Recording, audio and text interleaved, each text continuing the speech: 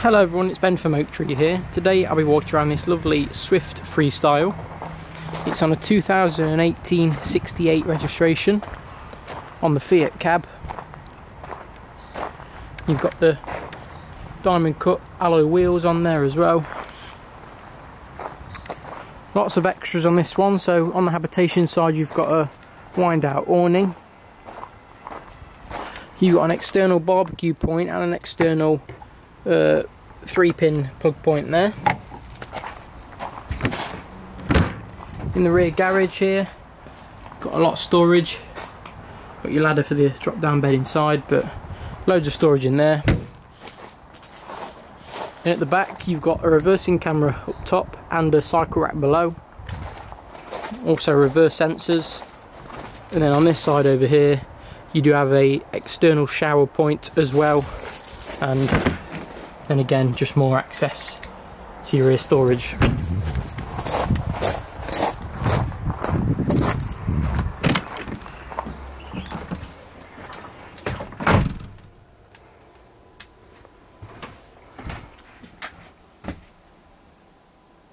We'll start with the rear, which is the end washroom. Quite a unique layout this one, but it does work. Lovely separate shower there with the LED lighting. Looks very, very modern. Just close that door. And you've got your wash basin area here with a very big worktop space there, which is nice to have. Place all your toiletries on there. Electric flush cassette toilet.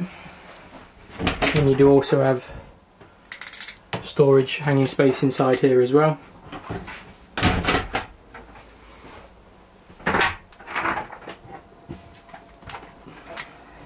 Moving into the kitchen now. So you've got a microwave up top, three burner gas hob, you've got your kitchen sink of course, oven grill, then behind me here you've got your three-way automatic fridge freezer.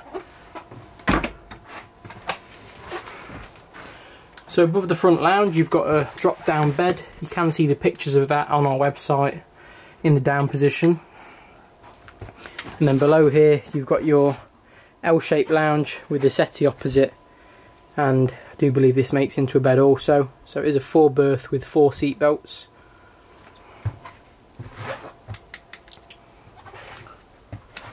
Swivel seats in the cab here.